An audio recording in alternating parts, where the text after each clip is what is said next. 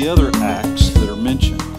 The primary one, singular act of the apostles, is talking about Jesus sharing about Jesus, making sure that the good news is heard by people, making sure that new people hear the good news, that friends and family hear the good news, that neighbors and acquaintances hear it, that people where you work, that people where you shop hear the good news. Everything you see about these people throughout this entire book you're going to see that where there's supernatural, where there's amazing things happening, whether there's persecution that's breaking out, in the midst of every last bit of it, they're sharing the good news. They're talking about Jesus. It is the primary act of the apostles. And I believe that it is the primary act, should be, that the Spirit of God is inspiring every last one of us to do. He's inspiring us to talk about Jesus. Last week we talked about how the power of the Holy Spirit came for a primary purpose. And that primary purpose was to empower every last one of us who are believers to be witnesses.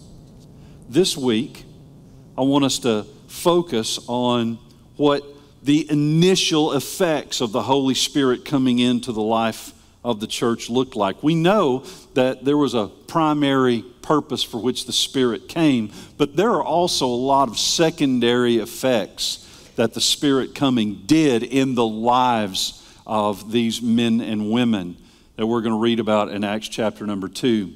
When the Spirit came, it was a new thing. Nobody had ever done it this way before. Nobody had ever seen this before, but the Spirit of God came in a powerful, fresh way. And one of the things you'll see initially, Peter got filled with the Spirit and just ran out and started preaching to strangers. And 3,000 people got saved. You cannot get away from the fact that the Spirit of God came in power primarily, first and foremost, to empower us and inspire us to talk about Jesus. But there are all kinds of uh, uh, uh, secondary, auxiliary things that the Spirit of God did in the lives of these people. And I want us to see the experience, but I also want us to look a little more intently at the effect of that experience later on in this chapter. So let's just walk through some verses this morning. We're going to be in Acts chapter number 2. And I think I'm just going to begin reading there in verse 1 and kind of walk through a little bit of the story, the Spirit of God coming in power on the day of Pentecost. Acts chapter number 2, beginning in verse 1. Luke writes, When the day of Pentecost arrived. Now, Pentecost is, uh, of course, it's, that's the festival, the Jewish festival of weeks. It's, it's um, uh, Shavuot, I believe, is the is the, the, the Jewish term for this. It's the Festival of Weeks.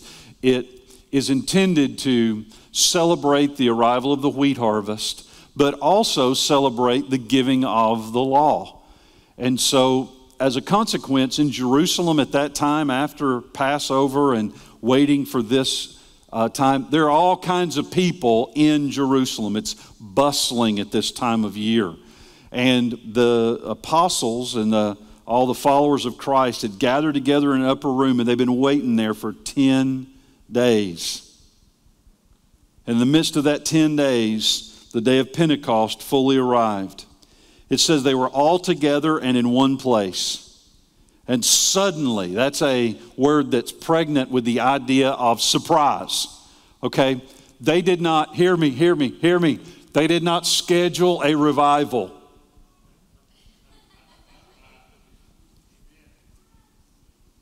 This did not happen on their timetable. They've been locked in a room together praying for 10 days. I mean, you know how it's like sometimes. You pray for 10 minutes and you feel like God is just as worn out as you are. 10 days together, just trying to do life and praying and worshiping and the day of Pentecost arrived, they were all together in one place, and suddenly, there was nothing about this moment that they did differently that caused this to happen. It was a suddenly moment. It was wrapped up in God's timing. God appointed a day and He called it today. He appointed a time and He called it now. And that's why it's happened when it's happening right here. It happened suddenly. If you think you can do something that will get God on your timetable, welcome to your lesson in patience. They didn't do a thing that got God on their timetable. God showed up in a sovereign moment when He was ready, that He had appointed. And suddenly, verse 2 there came from heaven a sound like a mighty rushing wind, and it filled the entire house where they were sitting. Now, I want you to recognize that what happened in verse 2 was a physical thing that happened that they actually heard with their physical ears. There was a sound of a rushing wind that filled that house. The, the, the, they, they didn't hear it with spiritual ears. I believe they heard it with physical ears. And I'll tell you why I believe that here in a minute. But it was a physical manifestation. Now, I know there are people, and maybe some of you here today, that are totally freaked out when we start talking about God showing up and you actually hearing something or seeing something. Well, you got to let God bust out of your box today. Because, well, he ain't ever been in that box anyhow, but we try and put God in this little box. We try and conform God to what we want his image to be. And God is going to show up and he's going to be nice and gentle. He's going to be exactly who I want him to be. And then in moments like this, the power of God shows up and we'll bust out of that box. They heard with their physical ears. It wasn't mass delusion they heard with their physical ears. Verse 3 And divided tongues as of fire appeared to them and rested on each one. The way the Greek actually reads, and it's hard to get it, the descriptive nature of it to come out in English, but it's like fire appeared and then split and divided and then landed on each one of them. They saw it with their physical eyes.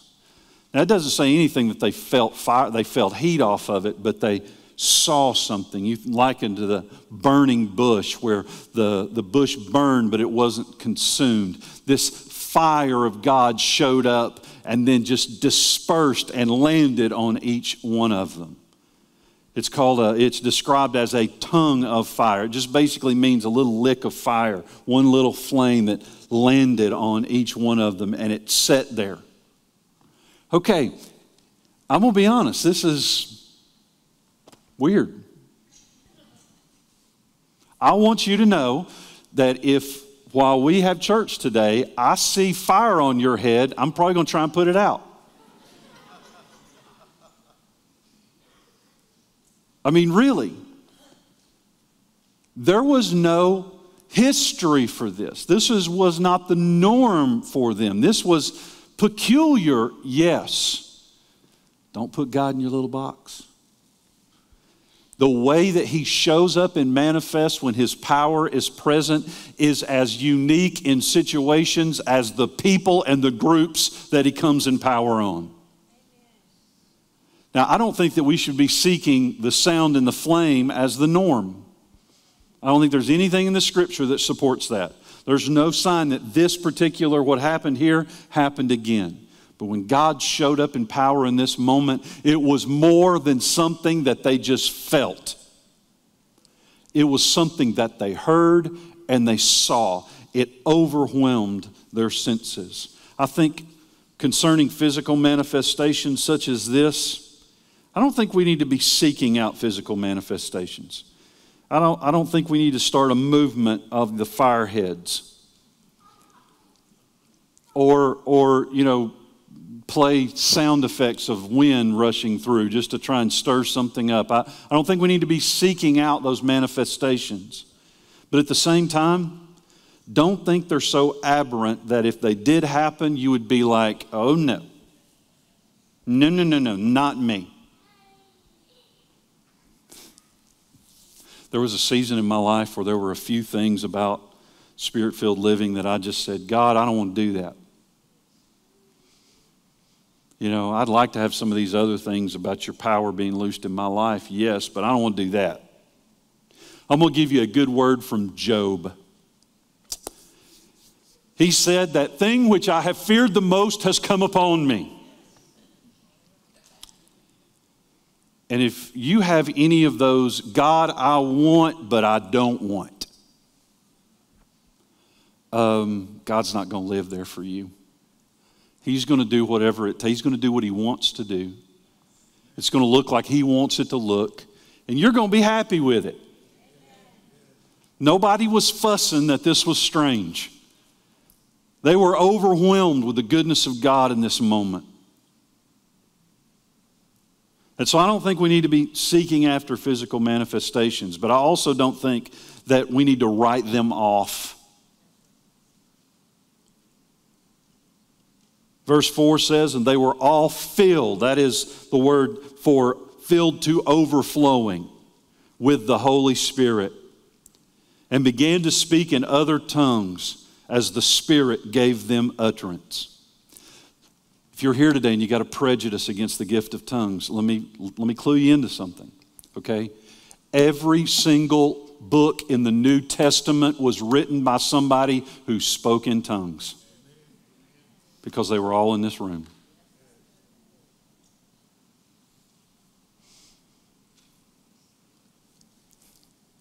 I'm like Paul. Paul wrote to the Corinthians and he said, You know, I speak in tongues more than you all, and I wish you all spoke in tongues. That's me. You say, Well, I've never heard you do that because I know how to do things in order. But this is one of those things that I said, God, I'd really, I don't, I'm not interested in that and that thing which I feared the most. And I'm grateful. I love it uh, every day. This morning during worship, the, this morning on my drive to work, to, to, to work, listen to me, to church.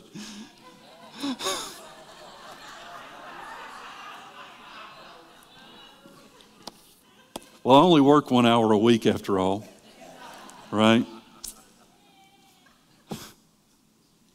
It's a part of my life. I love that it's a part of my life.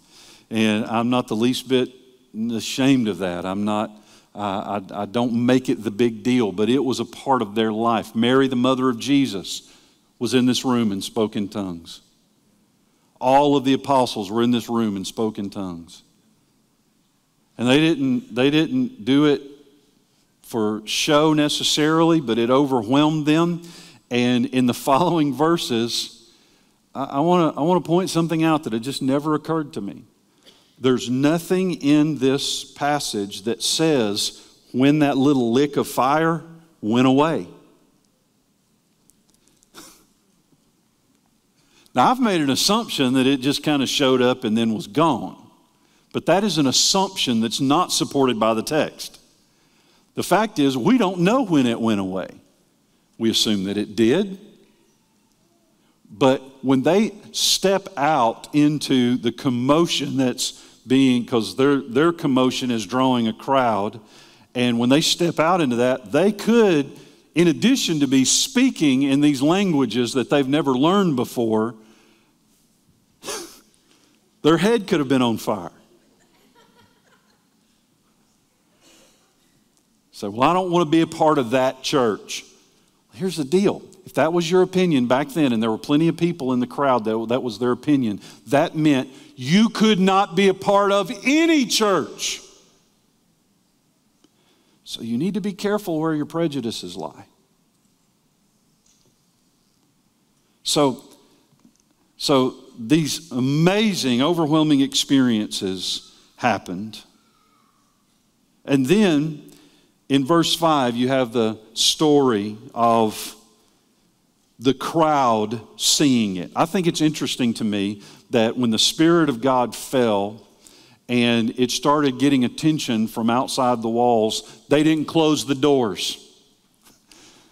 They didn't say, oh no, we don't want to quench the Spirit. We're going to close the doors and stay in here, you know, and insulate ourselves from the big bad world, world and have us, you know, a Holy Ghost explosion if you saw the apostle. Going to have a Holy Ghost explosion up in here. That's not what they did. The Spirit of God came on them and drove them out into the streets. Verse 5 Now there were dwelling in Jerusalem Jews, devout men from every nation under heaven. And at this sound, the multitude came together, and they were bewildered. That means confused. Because each one was hearing them, that is the 120, speak in his own language. See, in this instance, the gift that they were given was actually the ability to speak in a language they had never learned. Those of you who have struggled to learn languages know how difficult it can be. Aren't you a little jealous of them who just like went to church one day and it happened? There's nothing that says that they had this ability to speak this language for the rest of their life, though. All we know is they had this ability in this moment. And they, verse 7, that is the crowd, were amazed and astonished, saying, Are not all these who are speaking Galileans? So we know these people, they're local folk. How do they know our languages? How do they know our various dialects from all over the known world? How is this possible? And how is it that we hear, each of us, in his own native language. That means that there was a group of people who were inquisitive, who were being drawn to the goodness of God in this moment, and every last person in that crowd was hearing the gospel in the language that they needed it to be in. It's an amazing, miraculous moment. Parthians, Medes, Elamites, the residents of Mesopotamia, Judea, Cappadocia, Pontus, Asia, Phrygia, Pamphylia, Egypt, and the parts of Libya beyond the Cyrene, and visitors from Rome, both Jew and proselytes, Cretians and Arabs. That's basically Luke saying, everybody. We hear them telling in our own tongues the mighty works of God. And they were all amazed and perplexed. Listen, saying to one another, What does this mean? When the power of God shows up, what you want when you're being empowered to witness is for people to be inquisitive about what does this mean. That's the goal. There were people here who were inquisitive because the Spirit of God that just filled that 120 with power was also working on 3,000 so that their ears would be ready to hear and their hearts would be receptive to truth. When you share the gospel, you're getting into a divine uh, dance where God's working on you to share the gospel, but at the same time, God's out there working on somebody else, preparing them to hear and receive the gospel. When you all get together, power happens.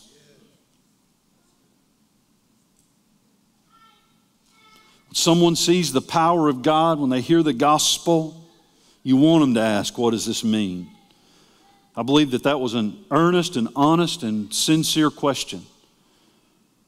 And I believe it was evidence that the same spirit that filled them in that upper room was also working on the crowd. God empowers both the speaking of the gospel and the hearing of the gospel. But not everyone had such an inquisitive response. There was another group in the crowd. Look at verse 13. But that means that what you're about to read stands in sharp contrast to what you just read.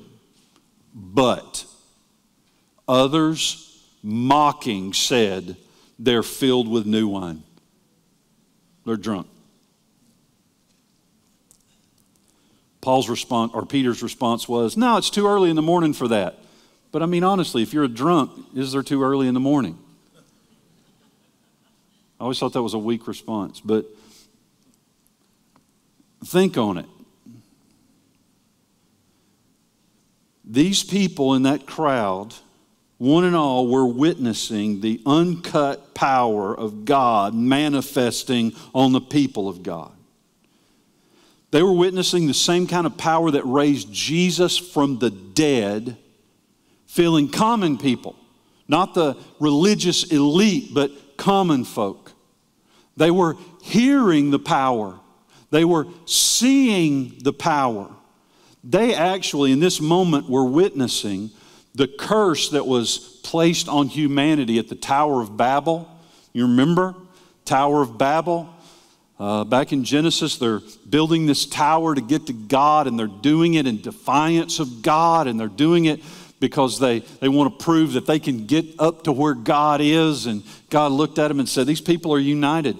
And they can, I mean, they can't build a tower to heaven, but it's like they can, they can defy me in their unity, and I'm not going to have it. And so he went down and he scattered their languages there at Babel. And even to this day, more than the color of our skin, it's our languages that separate us on the earth. And so when, when this moment happened, what they were witnessing was a divine supernatural reversal of that curse that happened at the Tower of Babel. And now it's being reversed so that anybody can speak to anybody and tell them good news. They're witnessing this. Yet, through their eyes that were not being enlightened by the Spirit of God, they judged it as drunkenness. I pray you can hear me when I say this because you, you, are going to get disappointed if you don't. Those who don't have their eyes opened by God will never fully understand what is happening to you or why you're the way you are when you're following Jesus.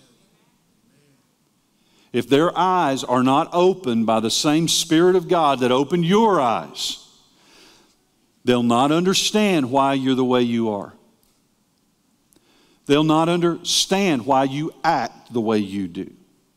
They'll never understand why you are so serious about certain moral issues. They'll never understand why you use your money to support a local church and to support others in your community. They're not going to understand why you value certain things that you value, while you're here on a Sunday morning rather than being at the lake. They're not going to understand.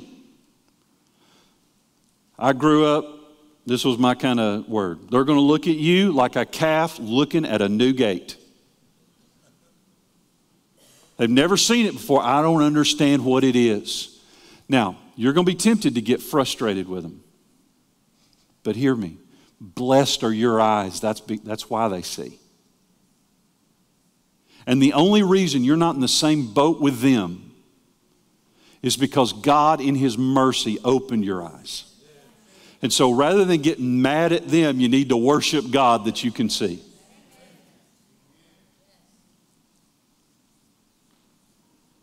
But in their misunderstanding, in their lack of ability to understand, they're going to try and explain what's going on in your life in the best way that they know how.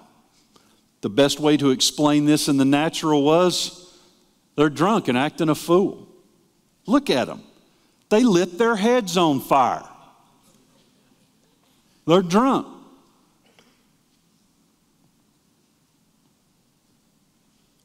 They'll judge you and they'll say, oh, they're just high on that opiate of the masses.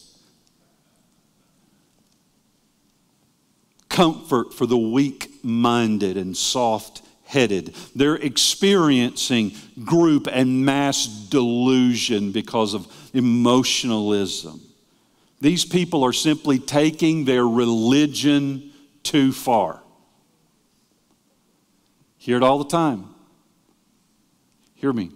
You can get mad about it all you want, but the fact is, they can't see what they can't see, and you cannot make them see by being angry with them.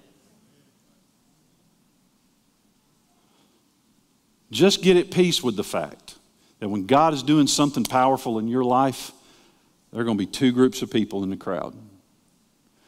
There's going to be one group that says, What does this mean?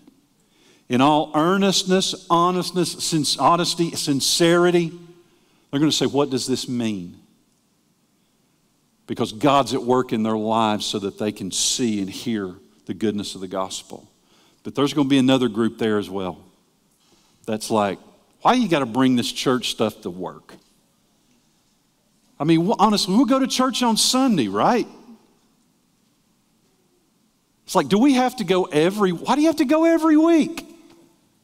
Doesn't that mess every weekend you have up? You mean you go on more than just Sunday? In the middle of the week, you're going to go hang out with other people just because they're Christians and you're going to talk about the Bible? What?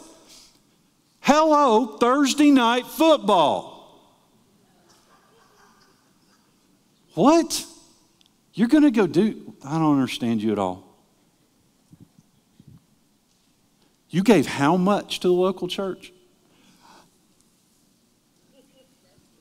That's a car payment. No wonder you're driving an older car.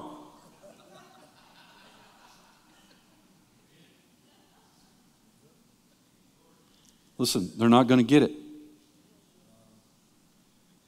Do you get it? It's not because you're awesome, it's because He is.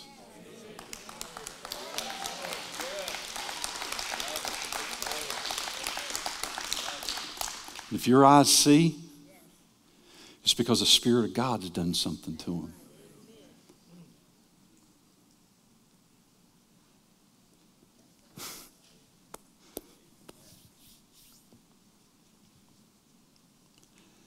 I want to take just a few minutes before we go this morning and talk about the effect that this had on people. Peter went, rushed out, and he preached, and 3,000 people got saved. Um, that's awesome, unless you're the pastor.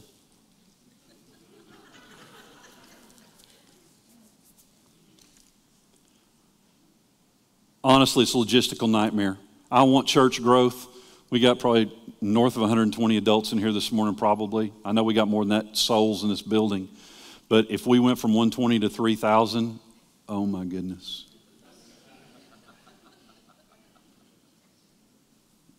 We're going to have to get all four nurseries up and running. You know, I'm going to have to have support staff all over the place. Oh my goodness. How in the world do you take 3,000 people and start working them toward a place of maturity when all you got is 120? I'll show you how. The first key happens in verse 42. It's describing their community, and it says, They devoted themselves. It happens by every individual who's a part of that local body making the uh, or being aware that the spirit of god is at work in them and they devote themselves where it doesn't take anybody you know shaming cajoling inspiring threatening. But instead individually personally devoting themselves. I believe the they that's described there in verse 40, 42 is the entire 3,120 individually devoting themselves. The presence of God that fell on their lives on the day of Pentecost did this to them. It inspired personal devotion. I think verse 42 by itself is probably a description of the discipleship process of the 3,000.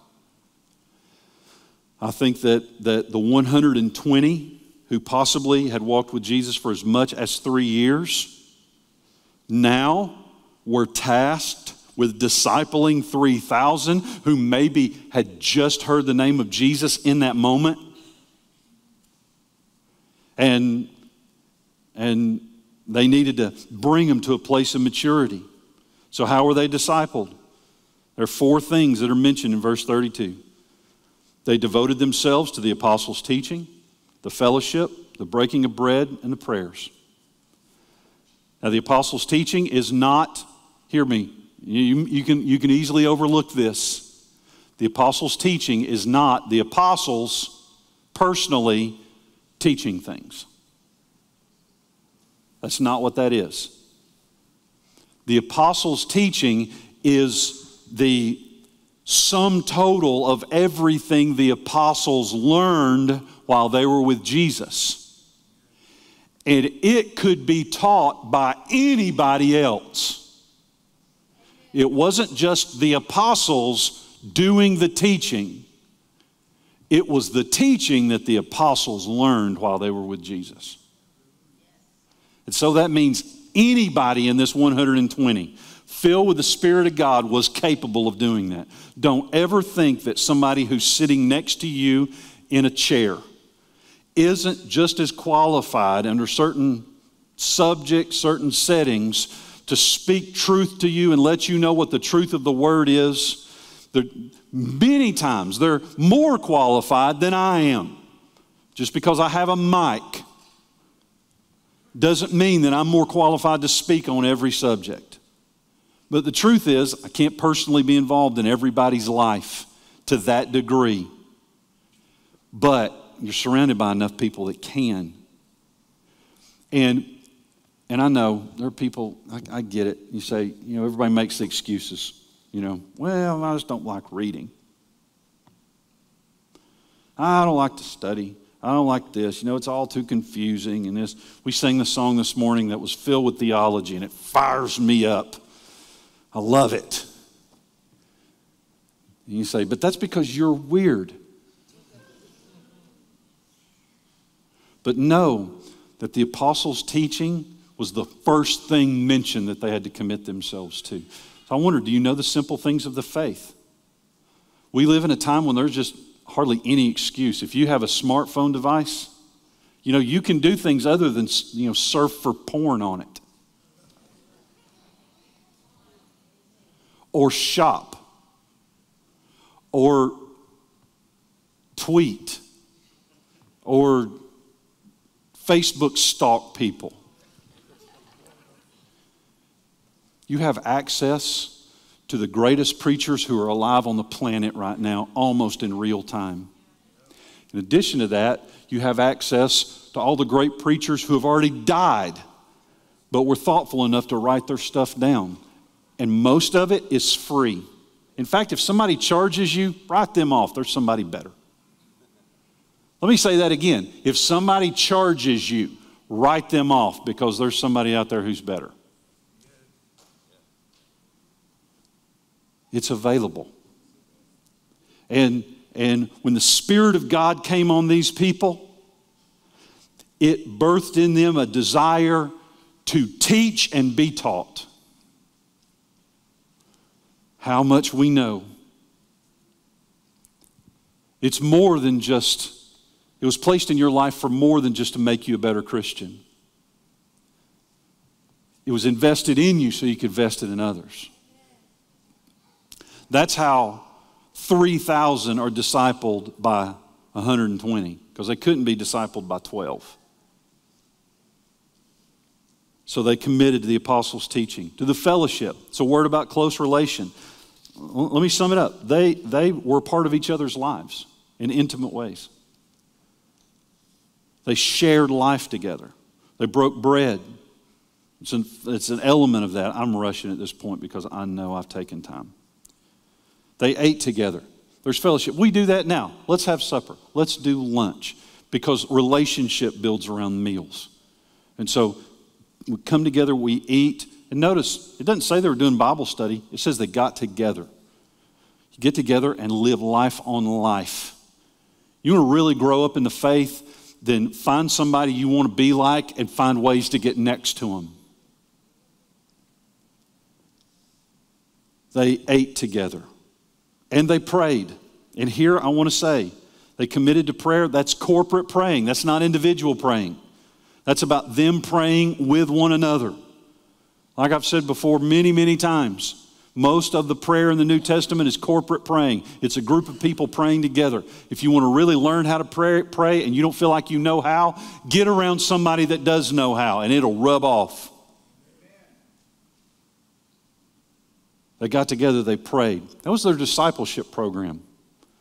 Everybody intentionally, personally taking responsibility to devote themselves to learn what they needed to learn, teach what they needed to teach, be around one another, eat, and pray together.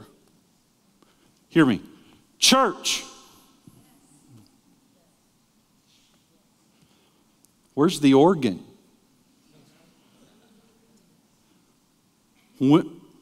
What's their bulletin like? What's the children's program?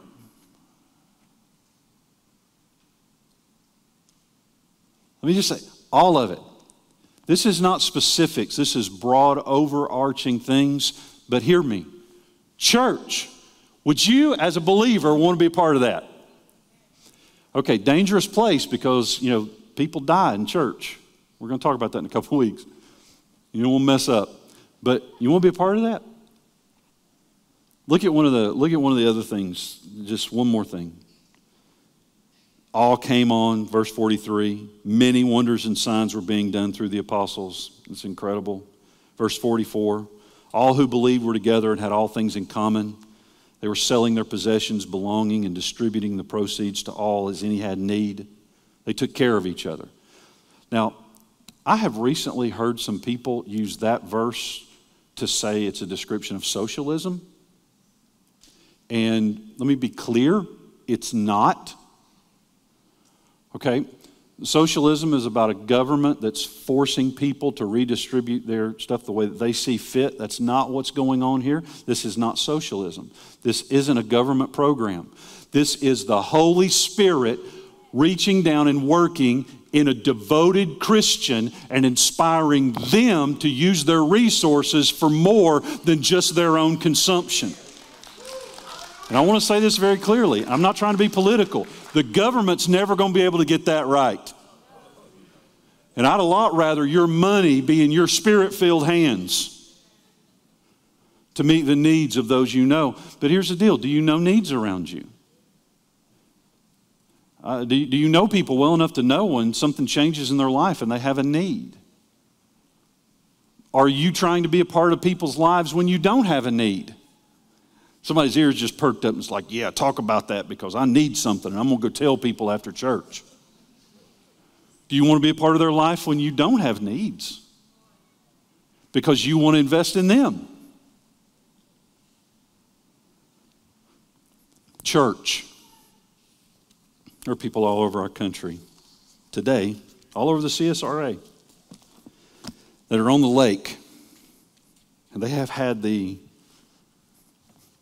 I want to say unmitigated gall, but maybe the ignorant delusion, maybe just who knows. But they've said, yeah, the lake is my church. I just go out there and get alone with God where does the scripture ever say that church is getting alone with God? Nowhere. I'll clue you in. Don't look for it, it ain't there. You know, spending time with my family on a Sunday, that's my church. Okay, where is that? You know, I just like to get out in nature.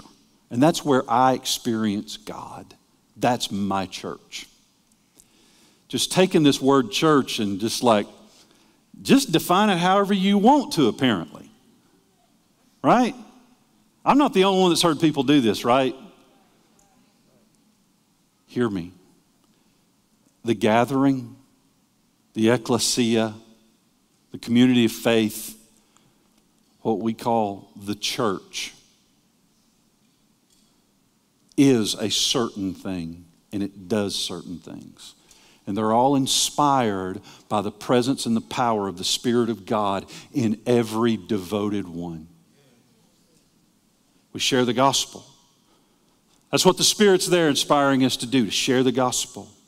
We learn and we teach each other. We make effort to be a part of each other's lives. We eat together. We pray together. We're involved enough that we know one another's needs so that we can meet those needs as we have the ability and we're, as we're directed by the Spirit. We do life together. Church. Church is not something you come to on Sunday morning. It's something you are a part of. It's part of who you are. I don't know that there's any greater decision that you're going to make apart from choosing spouse and choosing friends as there is to what church you're going to be a part of. I think it's more important than where you work.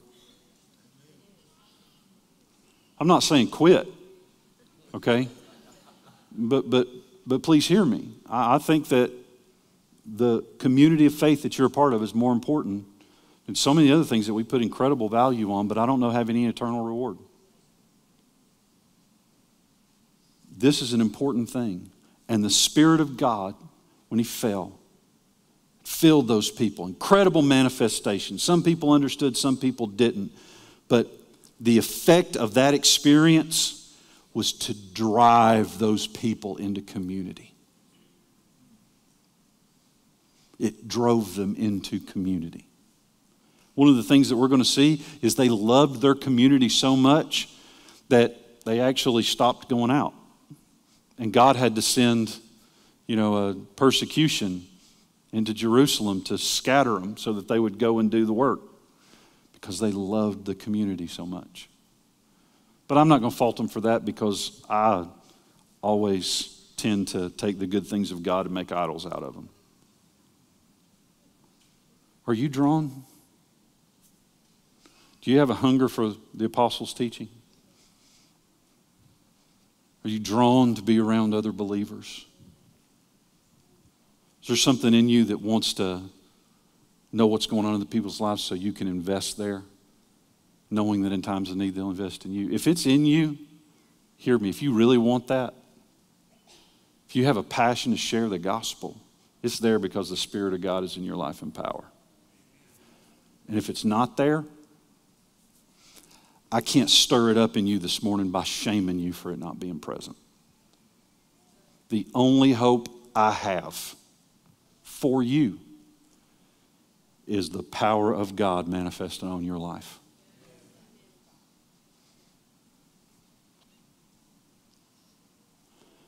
So if you're aware, you know, he talked about some of those things and I don't really want them. Yeah, I don't want I don't want any of that stuff actually. I don't want the sound, I don't want the flame. I don't want the tongues. He's preaching too long this morning. I don't want any more of this teaching. You know, I'm looking forward to getting out of here, being around people I actually want to be around. And you know, I don't know what it says about you. I'm not going to judge it. But I can tell you that the Spirit of God inspires us to want these things. And so, if you recognize that there's a deficit in your life for desiring this stuff, what you need to do is just ask the power of God to come. Because if you're ever going to love them and want them as you need them, and you do need all this stuff, by the way, too. It's not just about whether or not you want it, you need it.